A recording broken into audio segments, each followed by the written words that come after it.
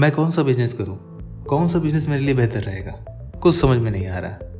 ये सवाल उन सभी युवाओं के जहन में आता है, जो बिज़नेस तो करना चाहते हैं, पर डिसाइड नहीं कर पाते कि कौन सा बिज़नेस स्टार्ट करें।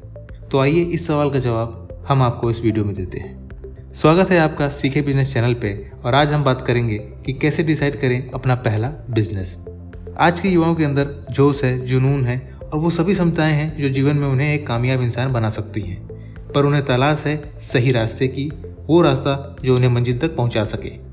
और ये रास्ता चुनने में उन्हें कौन मदद करेगा? वो रास्ता आपको खुद चुनना पड़ेगा।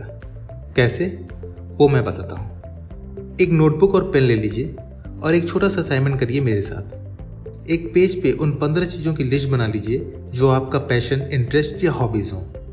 ये वो लिस्ट होनी चाहिए जो आप दिन भर कर सकते हैं बिना इंटरेस्ट लूज किए। और हाँ इसमें सोना और टीवी देखना नहीं होता है। इस लिस्ट में वो सभी चीज़ें लिखिए जो आप सीखना चाहते थे, करना चाहते थे, हमेशा से। वो सभी चीज़ें जो आपकी आँखों की चमक को बढ़ा देती हैं और आपके एनर्जी लेवल को दुगना कर देती हैं। ये लिस्ट थोड़ी बड़ी भी हो सकती है, पर कोई बात नहीं। इस लिस्ट में वो प्रॉब्लम्स और डिफिकल्टीज भी डाल दीजिएगा, जो आप रोज़मर्रा के जीवन में झेलते हैं और उसका सॉल्यूशन आपके पास है। क्योंकि कई बार जो प्रॉब्लम्स आपकी होती हैं, वही लाखों और लोगों की भी होती हैं। और जितनी बड़ी प्रॉब्लम होती है, उसकी अपॉर्चुनिटी और उसका मार्केट भी उतना बड़ा होता है। जैसे हाल फ़िलहाल की बात लेते हैं। कोविड 19 पैंडेमिक के कारण सब कुछ बंद पड़ा है। सारे बिज़नेस सफ़र कर रहे हैं। लाखों लोग इसकी चपेट में आ गए हैं। पर इस बड़ी प्रॉब्लम के साथ ही एक बड़ी अपॉर्चुनिटी भी आई है। मेडिकल फ़ील्ड में इसकी वैक्सीन खोजने की होड़ मची है। Sanitiser gloves and protective kits की मार्केट में हाई डिमांड है। मास्क कंपलसरी हो गए हैं। कई बिजनेसमैन इससे रिलेटेड चीज़ें बनाने और बेचने लगे हैं। तो हो सकता है आपका अगला बिज़नेस भी किसी बड़ी प्रॉब्लम का सॉल्यूशन हो।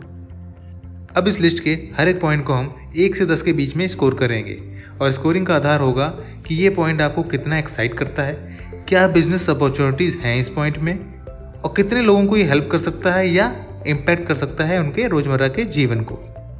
स्कोरिंग के बाद top three highest scoring points को सेलेक्ट कर लीजिए और उनमें से प्रैक्टिकली पॉसिबल बिज़नेस सेलेक्ट करिए और कोशिश करिए कि आपका बिज़नेस आइडिया कम लागत से स्टार्ट हो जाए। जैसे मान लेते हैं, आपका फ़िल्टर रिज़ल्ट आता है कार्स तो कोई ज़रूरी नहीं कि आप करोड़ों रुपए लगाकर मारुति की एजेंसी ही खोलें।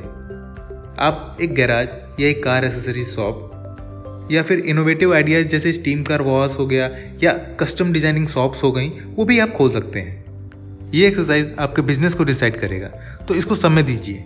एक दिन, दो दिन या हफ़्ता लगे तो दीजिए। और खुले दिमाग से सोचने के बाद एक बेहतरीन आइडिया के साथ अपना बिज़नेस स्टार्ट करिए। और फिर देखिएगा कि आपको सफल होने से कोई नहीं रोक सकता। तो आगे बढ़िए और एक्शन लेना स्टार्ट करिए।